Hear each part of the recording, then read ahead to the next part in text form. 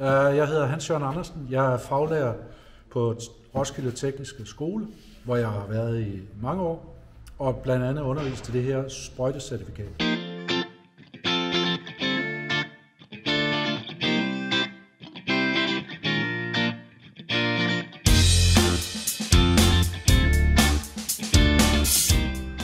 I dag er det sådan, at når du vil anvende pesticider, så skal du have en eksamen på, at du kan udføre det korrekt.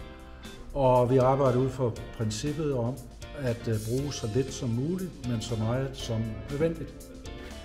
Og øh, igennem mange år så har pesticid, øh, hvad skal man sige, temaet været underlagt, at du skal have en eksamen for overhovedet om at anvende de her ting.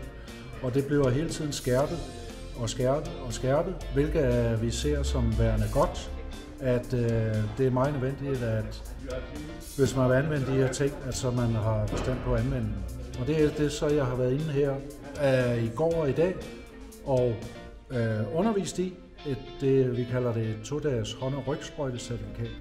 Og øh, det har været rigtig dejligt at være her. Øh, jeg har været sammen med syv meget øh, deltagende elever, og de har alle bestået øh, til, til UG med kryds og slange. Så det har været en god oplevelse.